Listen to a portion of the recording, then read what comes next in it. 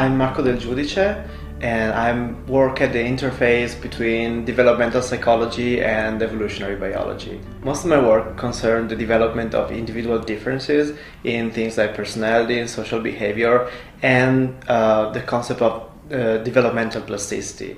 So a crucial concept is that of developmental plasticity and the idea that individuals uh, respond to the conditions they grow in and can develop in dramatically different ways depending on those uh, contextual uh, variables and cues.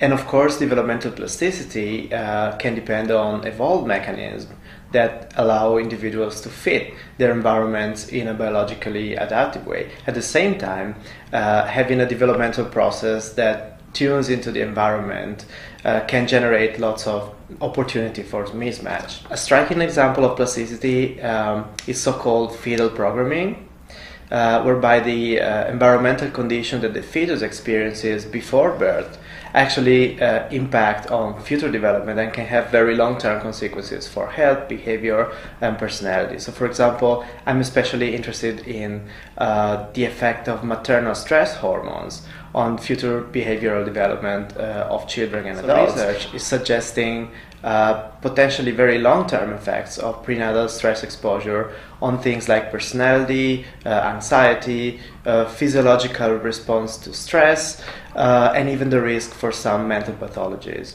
So a big question is, is this kind of plasticity actually adaptive for the organism or does it just result from disruption of some developmental mechanisms? Is it just pathology or is there an adaptive logic to that?